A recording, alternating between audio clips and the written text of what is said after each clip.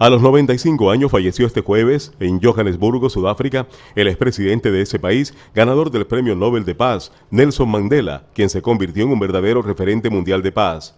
Mandela nació el 18 de julio de 1918 en la provincia del Cabo, en Sudáfrica, y en 1993 ganó el Premio Nobel de Paz por todo el esfuerzo para unificar a su nación, tras las disposiciones legales que impedían que los negros de Sudáfrica ocuparan cargos públicos y ejercieran el derecho al voto.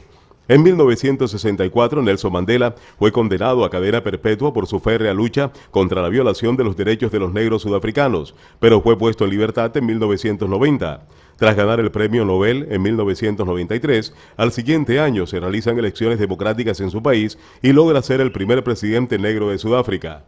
Durante toda su vida, Nelson Mandela trabajó, luchó y logró defender los derechos de los negros, no solo de su país, sino de todo el mundo, convirtiéndose en un referente mundial de paz. Este 5 de diciembre murió a sus 95 años, dejando un gran legado de paz y resolución de conflictos de una manera no violenta.